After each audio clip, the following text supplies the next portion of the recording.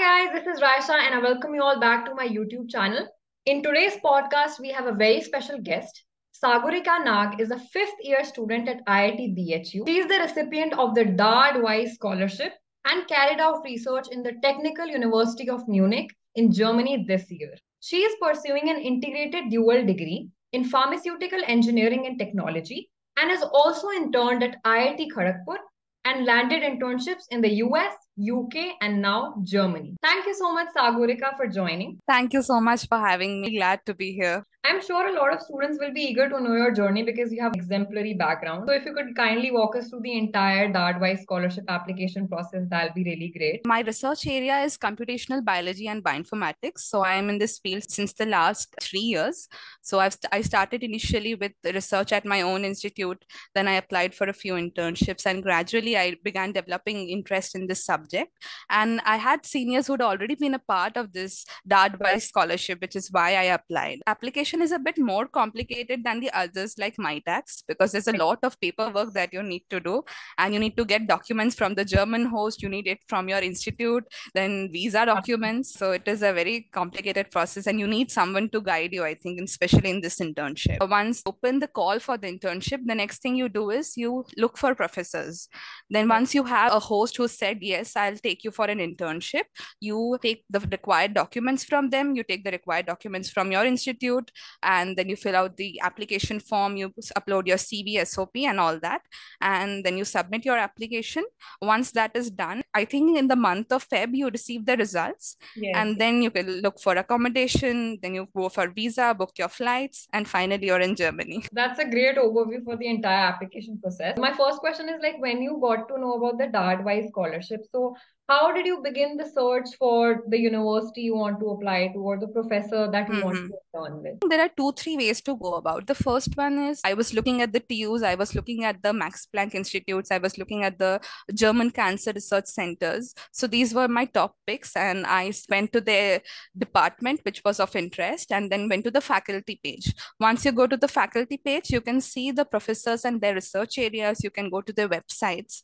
So from there, you can shortlist the professors services that are of interest to you.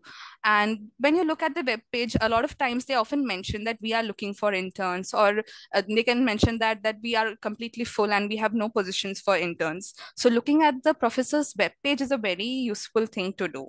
This is one method that you can go about. The second method is if you are in an institute where your seniors have already done this internship and they are in the same field as yours, you can just ask them which professors did they mail because those professors already know about the DAAD-wise internship and they know that your home institute students already go there. And then the third procedure would be if your prof knows someone in Germany, so they can directly recommend you. You could go to their Google Scholar page and see what is the research area in which they are publishing papers. So okay. from there, mm-hmm. you could maybe read a paper and you could, like when you cold mail the professor, you could mention that I read this paper of yours and I found it really interesting and I would like to do something related. So that is a very good way to, you know, grab an attention because the professor officer knows that you are aware about the research area. You have already summarized the project selection process. So, how did you approach the professor? When you cold email a professor, what I usually do is I address the professor, then I talk a little bit about myself that I am this and this, I'm pursuing this, and I'm interested in pursuing an internship under your guidance via the DAAD-wise internship program, which will be fully funded. Like this is important to mention because they know that they don't need to provide anything. I'll only intern if I get selected by the DAAD-wise internship, and it would be fully funded. So this is the first paragraph that I have. The next paragraph is how I am interested in the research. Like I read this paper or I heard there's some seminar or I am aware of the research via some professor, something like that. That is how you establish the connection. And then I say I've interned at these places already and I have these skills to support this particular project. So once you have done that, then you can just move on to the last paragraph that I would like to set up a meet with you, talk to you more, and I would like to know what is the latest research that is being conducted in your lab, something like that. Okay, that's great. I wanted to ask how many professors did you reach out to and were you happy with the final project which you landed in? I reached out to about seven professors and I got positive replies from three of them. Okay. So I didn't have to do a lot of mailing because I made sure that my mails were crisp. They included everything that was required. I know people who, you know, send out 200, 300 mails, which is a very generic email that I am this, I'm interested in your research and I would like to intern. But usually the success ratio of such mails is less. So I would suggest that if you are emailing, like take out some time and specialize that email. Once you had drafted the contents of the email, did you also attach a CV along with it? I attached only CV, no cover letter and transcripts. I just mentioned that if you require any other documents, feel free to ask me. All right, all right, got the Yeah. point. So there's also one very important question that like students have in mind is how should they draft their CV? My CV starts with my name, then contact information like email ID, phone number, LinkedIn, Twitter, all these, and then it is followed by my education. So I only include my college education. I don't include my school education percentages in my CV. And next, I talk about the relevant experiences, the previous internships I've had, followed by the projects that I've done. And then I have a section for publications. And then I have a section for conference presentations, then achievements, and I think extracurriculars, followed by relevant courses. In that relevant course section, I have academic courses and online courses. What about someone who wants to apply for the DAADWISE internship, but they don't have relevant research experience? When you are into research, you usually begin with doing research at your home institution. So at least you need to have one, two projects or something to demonstrate that you have those research abilities. Although if you are really passionate about it and you can demonstrate that in your letter of motivation, then I think still you can apply. But I would suggest to have at least a few projects or some internship, some experience before you apply. Should we draft the LOR and who should we take it from? That specifies that the LOR should be from someone at your home institution. So, like my previous internships were abroad, so I did not ask the LOR from them.